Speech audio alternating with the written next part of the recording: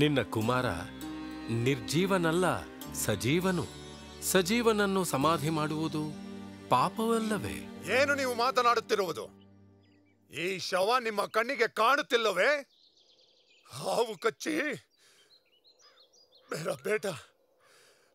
ಮೇರಾ ಬೇಟ ಮರ್ ನೋಡಿ ನಮ್ಮ ಕಣ್ಣಿಗೆ ಕಾಣುವುದೆಲ್ಲ ನಿಜವಲ್ಲ. ನೀವು ಆವೇಶ ಪಡೆದಿರಿ.